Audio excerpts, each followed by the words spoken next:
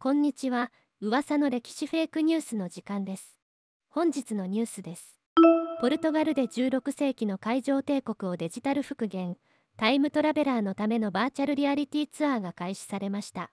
ポルトガル政府は16世紀に映画を誇った自国の海上帝国をデジタルで完全再現するという野心的なプロジェクトを発表しました。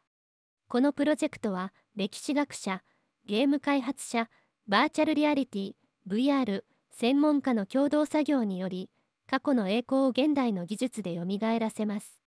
このバーチャル体験では参加者は16世紀のポルトガル船に乗り込みスパイスルートを公開し当時のポルトガルが築いた広大な貿易ネットワークを体験できます。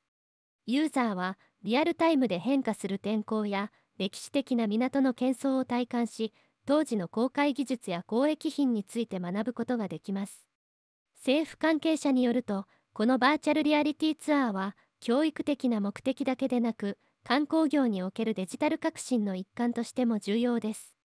ポルトガルの豊かな海洋歴史を世界に再度紹介しより多くの人々にこの国の文化遺産に触れてもらう機会を提供します。とのことです。このプロジェクトは過去と現在をつなぐデジタル技術の最前線を示すものとして世界中から注目を集めています。